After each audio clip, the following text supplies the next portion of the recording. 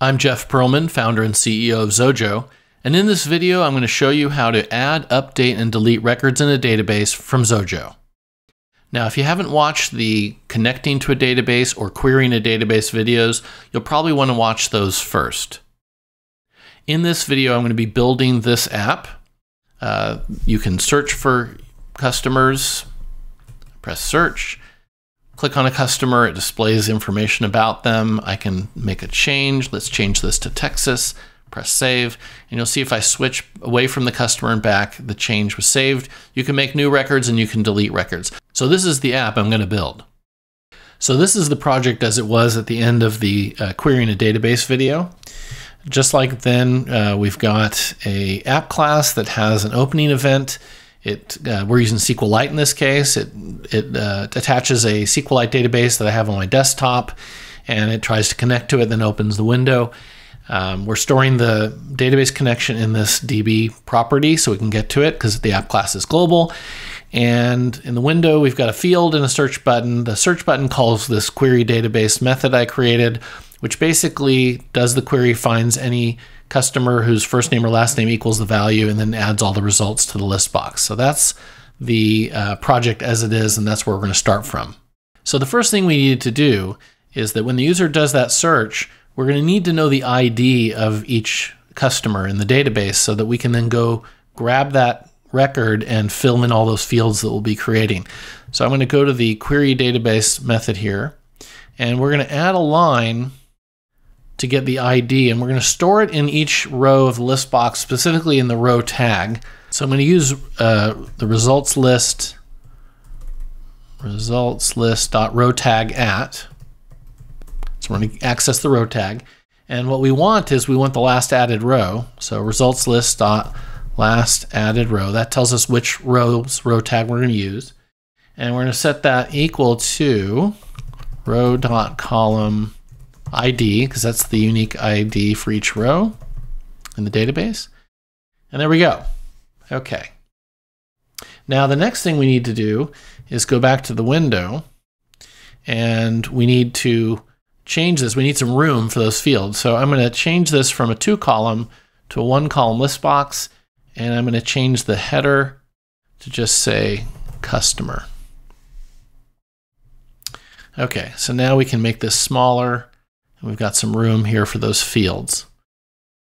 Now we need to, to combine the um, first name and last name into a single cell because before it was in two columns. So I'm going to go back to query database and you can see here it's we're adding the first name and comma and last name so that'd be two separate columns.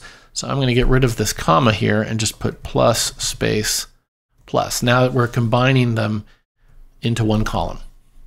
So now when we type in the name of a customer and hit search, we can see that the customer's first name and last name are combined into our single column. Great.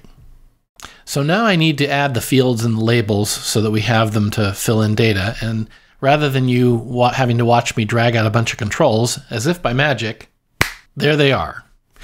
Now, when the user clicks on a customer in the list box, what we're going to want to do is we're going to get the row tag, get the ID from the row tag, and we're going to want to do a query uh, so we can go get that customer record and be able to modify it. And we need to store that that row set somewhere.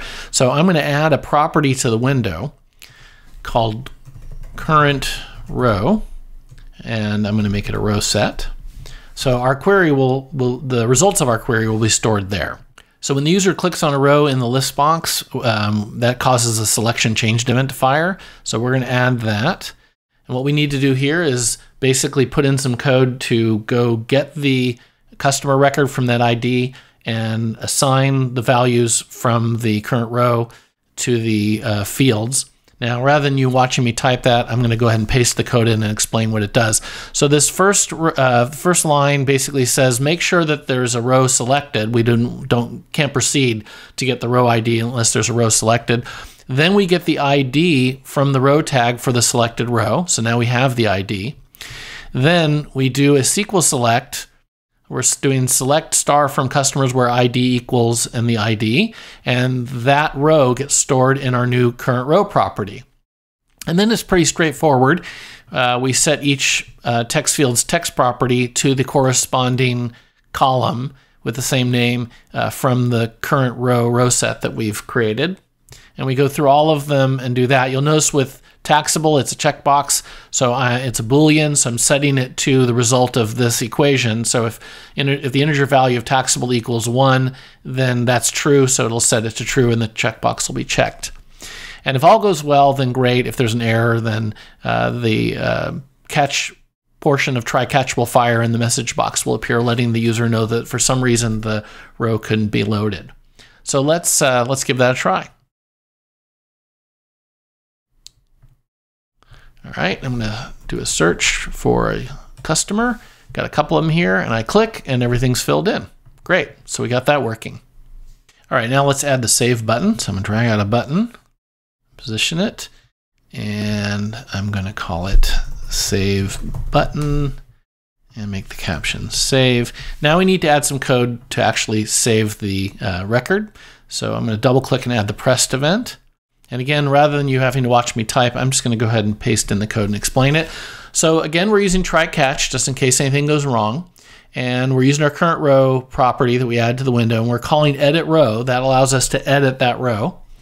And then uh, we it's just the reverse. We set the column in current row equal to the value from the control. And with taxable, it's a it's a checkbox, so we check the value and then set to one or zero. And then at the end, we call save row. And if anything goes wrong, uh, then we'll get our exception. And I want to point out, as I've said in other videos, basically what I'm showing you would be true if you were building this as a web app. It would be pretty much all the same code. If you're using a database server rather than SQLite, 95% of this would all be the same. It's it's very minor differences, uh, such as connecting uh, is a little bit different. But aside from that, everything's going to be pretty much the same. Now, you can also say that of building a mobile app if you're using SQLite. If you're using a server, then um, the way you access a database server from a mobile app is very different. I've mentioned this before. It's because of how the mobile operating systems work and not so much about how Xojo works. So now that we've got this, let's give it a try. All right, so I'm going to search again and click and let's make a change. We'll change this to Texas. I'll press save and then we can check to see if it worked. We'll click here, click back. Yep, it worked. Great. Next, let's add a delete button. So I'm going to go to the library, and grab another button. And I'm going to call this delete button and let's make the caption delete. And we'll add the pressed event. And once again I'm just going to paste the code in here. It's pretty simple this time. It's a try catch again and we're just going to say current row dot remove row. And if that fails for whatever reason we're going to get our exception. That one's pretty easy. And now let's add a new button to make a new record. So I'm going to drag out another button. I'll put it right here. And we'll go to the inspector call it new button and make the caption new. Great. Now this is a little trickier because when you this is an interface thing. When the user clicks the new button, we're just indicating that they're making a new record. We still want them to click save to save it. So what we're going to do is we're going to update the save code to know whether the user is saving an existing record or saving a new record, which means we need a flag. Uh, we need some way to know which is which. So what I'm going to do is I'm going to add a property to the window I'm going to call it new row and make it a Boolean. And the new button is just going to set that. It's just going to put new row equals true. So when the user clicks that button, we'll know we're making a new row. So now we can update the save uh, code to deal with that. Now, again, rather than you having to watch me type, I'm just going to paste in my updated code. Here it is. So what's changed? Well, I've added this if statement. I'm going to highlight it to make it really clear. And basically we check our new our new row property, which we just added. And if that's true, then we create a, a, variable called row as a new database row, and we just fill it in with the values from the controls. You can see that first name equals first name.text, etc. And then we call app.db add row. We give it the name of the customer's uh, table and the row that we just created, and that adds the row uh, to the database. And then finally, we set new row to false since we're done. Else, we do what we were doing before. We edit the current row, we assign all the values, and we save the row. And in either case, if anything goes wrong, it'll drop into our error checking here where, we, where it gives us a message box and says that the customer record couldn't be saved. So let's give it a try. All right, so I'm going to click New, and I'm going to fill in my name. And here, let's just put in a few things here. We don't have to fill the whole thing in. And then I'm going to press Save. Great. And then let's go and search for me. There I am. And there's the row. So we know that that worked. Great. Now, one last thing we want to do when making a new row is deal with the possibility that the user might click new and then change their minds and not want to actually create a new record after all and perhaps go do a search. So what that means is, is that when the user does a search in, with QueryDB, let's go find that method.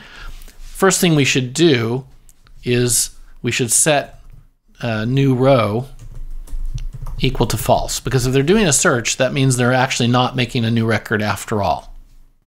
Last but not least, one of the things you're going to find is that when you're developing a database application, sometimes your code that modifies the database isn't going to go as planned and it's going to mess up your data.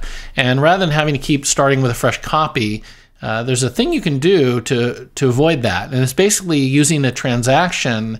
And this is again only during testing. You can use a transaction to allow you to roll back any changes you make while you're testing. Uh, so what I'm going to do is I'm going to add a couple of events. I'm going to add the opening event. And there I'm going to put app.db.begin transaction. That'll start it.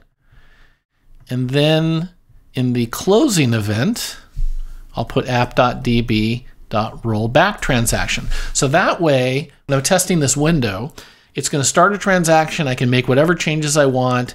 And then when I close the window, it'll roll back the transaction, undoing any of those changes and that just makes testing your your code a lot easier. Now you'll want to take that out when you're done, but it's a great way to uh, to test. Now, one thing I left out of this video is there are some interface issues to deal with. Um, if the user doesn't have a row selected, you may want to disable these fields, uh, that sort of thing. And I'm going to address those in the next video. So next, you'll want to watch the Managing the User Interface when Updating a Database video. To learn more about Xojo, Click below to subscribe to this channel, check out the other videos, and visit Xojo.com.